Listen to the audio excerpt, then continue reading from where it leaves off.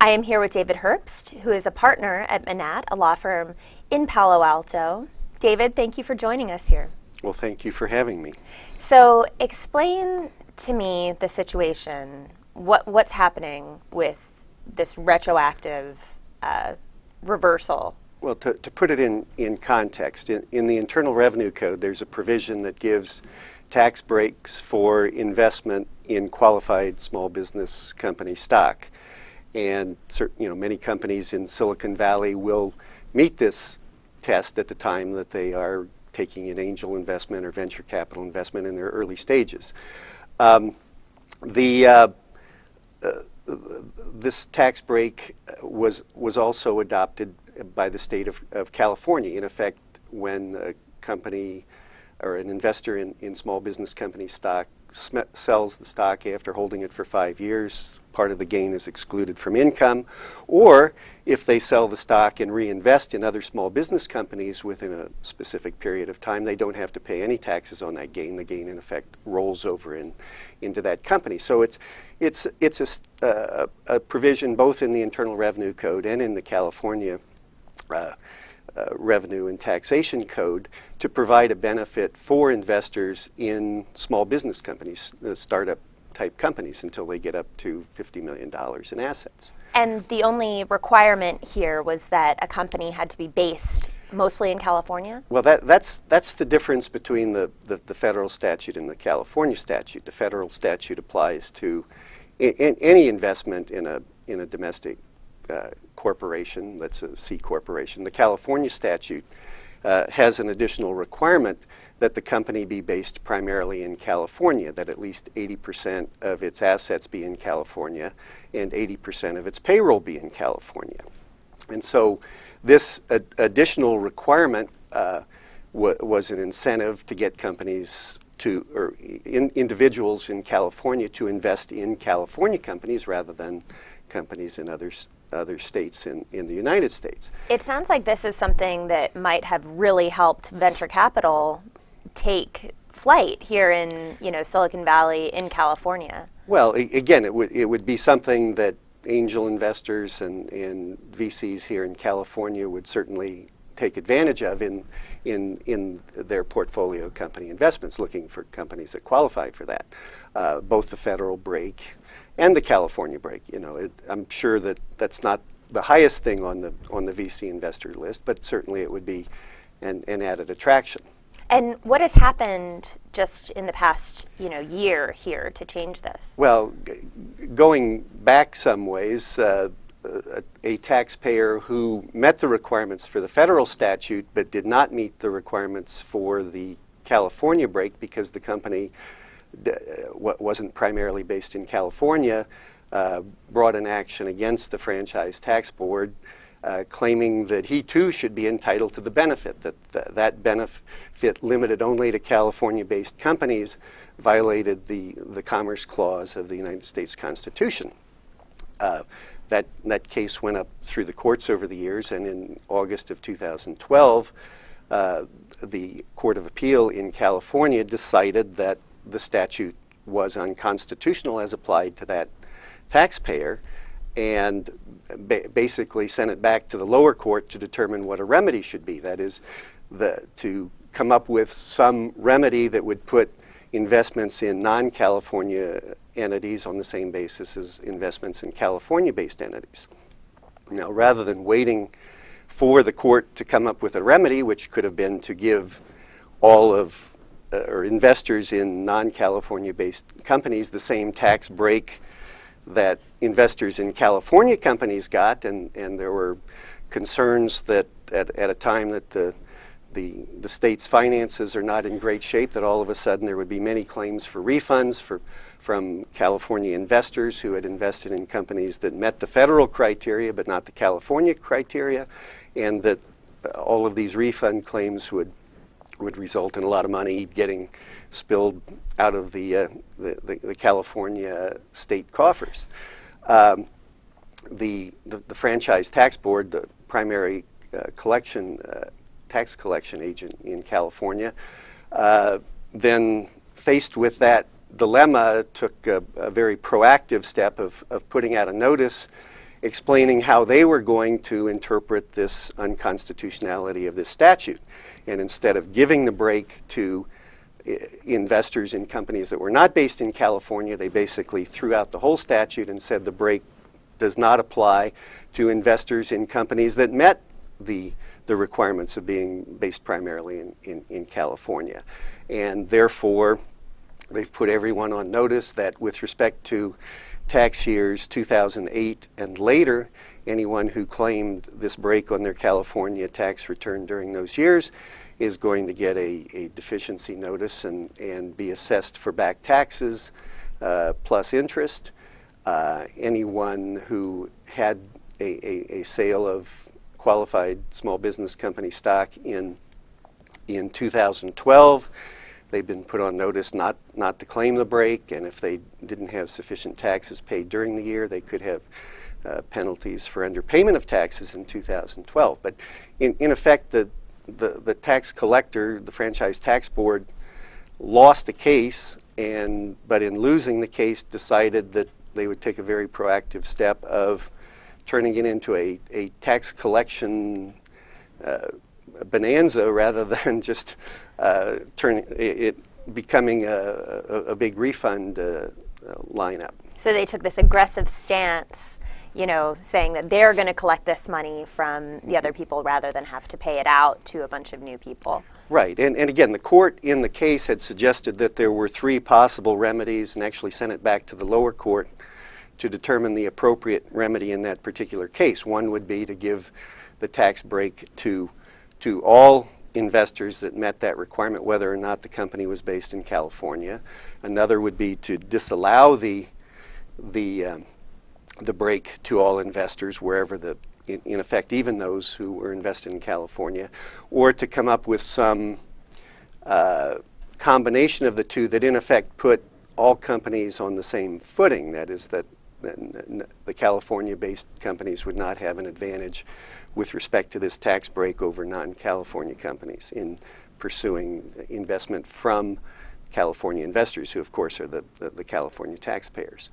So uh, again, they um, determined rather than to battle this on in the courts and in effect wait for a number of taxpayers to, to step in and, and start claiming refunds that they would take this very aggressive step. So who is this impacting primarily?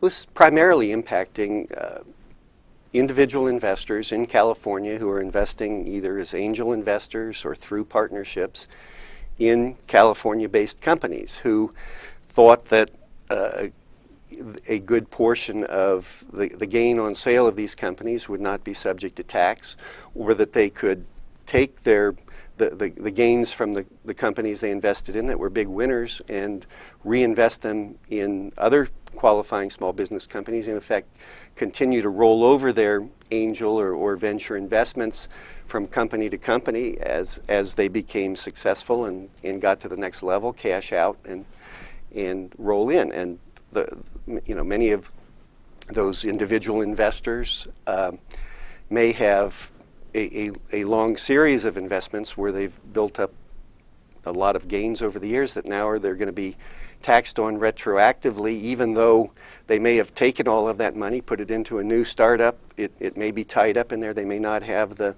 the, the funds in their bank accounts to, to pay some of the taxes in this regard. And this is for individual taxpayers. This doesn't impact venture capital firms? Well, th this is a break only for individual taxpayers, but it applies to investments made through partnerships as well. But it's the individual who gets, gets the tax break. Um, if investments were made through a limited liability company in California, there is a, a tax on limited liability companies to the extent that this would increase the income of one of those. It could push them into a higher tax tax rate as, as well. But it's, it's primarily a hit on individual investors, whether they're making the investments directly or, or, or through a, a pass-through type entity, a partnership type entity. Do you have any idea of how much money the Franchise Tax Board stands to make once everybody pays these taxes, if this indeed, you know, is? Uh, I, to be honest with you, I don't have figures on that, but I, uh, the, the, the case that they were dealing with was several hundred thousand dollars of taxes involved by that one taxpayer.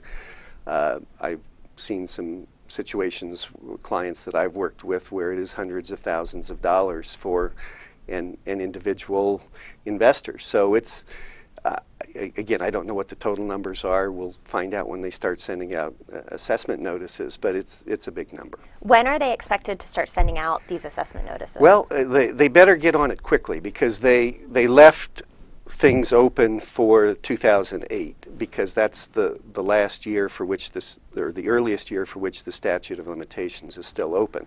Statute of limitations on 2008 tax returns will start to expire on uh, April 15 of 2013. So if they're going to collect any assessments from the 2008 year, which is the earliest year that's still open, they would have to get those assessments out by April 15 of this year. So uh, we should be expecting them shortly. What's the response that you've seen to, to this ruling? Well, again, a lot of uh, investors have questions about what they should do. The, in, in the notice, the Franchise Tax Board uh, suggests that all these taxpayers who have taken this benefit should step forward voluntarily file amended tax returns or or prepay the taxes they're going to be assessed so that to, help the, the tax collector out. I think most people are taking more of a wait and see attitude to see if the assessments do actually get out by April 15 if, if they have a 2008 year issue, um, to see what the next step is in, in the courts, both in the, the, the, the, the Cutler case, which is the case that was decided back in August, and in any uh, additional litigation. I would expect there to be a, a, significant amount of litigation over this issue. So there's a chance that this assessment isn't going to go through exactly as it's written now? Well, the Franchise Tax Board will send out assessments based on what they've said, assuming that they can get all the information together and track all these people down. They will send out the assessments. The question is what happens then. The taxpayers many of them will pay the assessments and, and then file likely refund claims and then take it into the court to, to sue for refunds. And we'll have some cases on that for, for years to come. The Cutler case itself was based on a sale of stock in 1998. It took it, what, 14 years to get through the court system before we got a Court of Appeal decision in 2012. So this this, this is something that we'll be hearing about for years to come. What's your personal uh, opinion of this decision? Uh,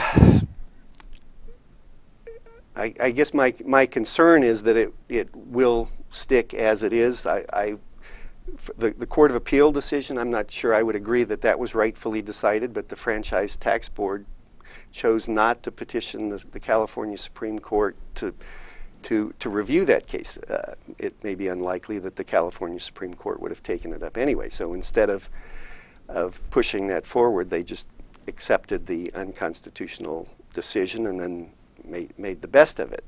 Uh, so we're, we're stuck with that. I don't see that uh, getting changed.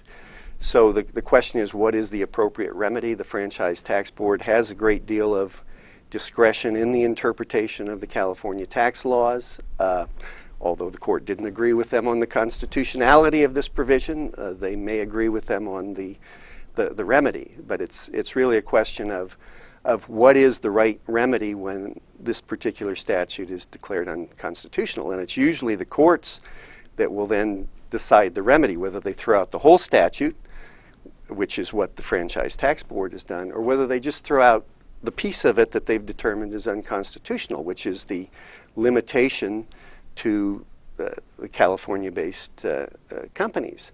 Uh, they could say, well, we should just throw out that little piece of it, and the rest of it is fine. The rest of it tracks the, the federal statute, and we're just giving people at the California level the same break that, that they have at the, at the federal level.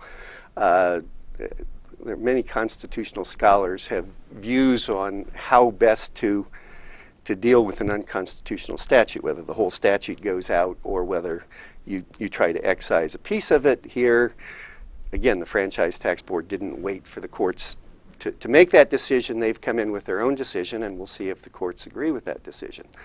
Uh, from a legislative standpoint, um, this is probably not something that the California legislature is, is going to jump into at this point. Although once this is resolved, they may have to decide whether they're, they, they would provide some prospective break for investments in small business companies. But uh, uh, in today's world, where the, the California legislature has been in the budget battles year after year trying to find enough revenues, I doubt that they're going to turn around and give away a lot of revenues just immediately. Again, we'll have to see where, where that goes from a legislative standpoint as well.